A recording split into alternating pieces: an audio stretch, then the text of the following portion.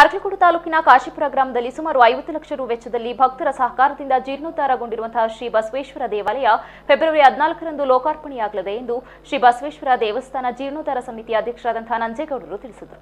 ಮೊದಲಿಂದ. ಸುಮಾರು ಐನೂರು ವರ್ಷಗಳಷ್ಟು ಪುರಾತನ ಕಾಲದ ಇತಿಹಾಸ ಹೊಂದಿರುವ ದೇವಾಲಯ ಶಿಥಿಲಗೊಂಡು ಪೂಜೆ ಪುನಸ್ಕಾರಗಳನ್ನು ಸಲ್ಲಿಸಲು ತೊಡಕಾಗಿತ್ತು. ಹೀಗಾಗಿ ದೇವಸ್ಥಾನ ಜೀರ್ಣೋದ್ಧಾರ ಪಡಿಸಲು ಗ್ರಾಮಸ್ಥರಲ್ಲದೆ ಸುತ್ತಲಿನ ಹಳ್ಳಿಗಳಾದಂತಹ ರಾಗಿ ಬೈಚನಹಳ್ಳಿ, ನೈಕೆರೆ, ಅಂಕನಾಯಕನಹಳ್ಳಿ, ನೇರಲಹಳ್ಳಿ, ಚೋಳೇನಹಳ್ಳಿ, ಹಂಟಗರೆ ಮತ್ತು ಮರಡಿ ಮತ್ತಿತರ ಊರಿನ ಭಕ್ತರು ಹಾಗೂ ಜನಪ್ರತಿನಿಧಿಗಳ ಸಹಕಾರದಿಂದ ಹೊಸ ದೇವಾಲಯ ತಲೆ ಎತ್ತಿದಂತಿದೆ.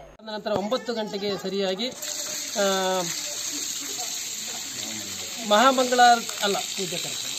ಒಂಬತ್ತು ಗಂಟೆಗೆ ಸರಿಯಾಗಿ ವೇದಿಕೆಯಲ್ಲಿ ದೇವಾನಂದ ವರಪ್ರಸಾದ್ ಅವರಿಂದ ಜಾನಪದ ಹಾಡುಗಳ ಒಂದು ಕಾರ್ಯಕ್ರಮವನ್ನು ಏರ್ಪಡಿಸಿದೆ. ಹಾಗೂ ಮಕ್ಕಳಿಂದಲೂ ಕೂಡ ಕಾರ್ಯಕ್ರಮ ಇದೆ, ಅದನ್ನು ಕೂಡ.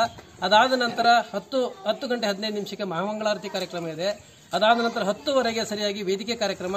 ವೇದಿಕೆ ಕಾರ್ಯಕ್ರಮದಲ್ಲಿ ಅರಕಲಗೂಡಿನ ದೊಡ್ಡ ಮಠದ ಶ್ರೀ ಮಲ್ಲಿಕಾರ್ಜುನ ಸ್ವಾಮೀಜಿಯವರು ಹಾಗೂ ಹಾಸನದ ಶಾಖಾ, ಆದಿಚುಂಚನಗಿರಿ ಶಾಖಾ ಮಠದ ಶಂಭುನಾಥ ಸ್ವಾಮೀಜಿಗಳು ಮತ್ತು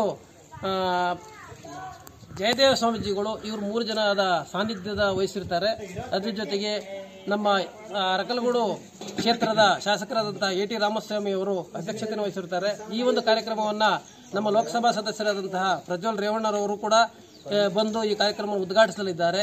ಹಾಗೆ ಇನ್ನಿತರ ಪ್ರಮುಖ ನಮ್ಮ ದೇವಸ್ಥಾನಕ್ಕೆ ಸಹಕರಿಸತಕ್ಕಂತಹ ಪ್ರಮುಖ ದಾನಿಗಳು ಇದ್ದಾರೆ. ಅವರು ಕೂಡ ಈ ಒಂದು ಕಾರ್ಯಕ್ರಮದಲ್ಲಿ ಪಾಲ್ಗೊಳ್ತಾರೆ. ಹಾಗೆ ಹೊಳೆನರಸೀಪುರ ಕ್ಷೇತ್ರದ ಮಾಜಿ ಸಚಿವರಾದಂತಹ ರೇವಣ್ಣರವರು ಕೂಡ, ಎಚ್ ಡಿ ರೇವಣ್ಣರವರು ಕೂಡ ಈ ಕಾರ್ಯಕ್ರಮಕ್ಕೆ ಪಾಲ್ಗೊಳ್ಳಲಿದ್ದಾರೆ.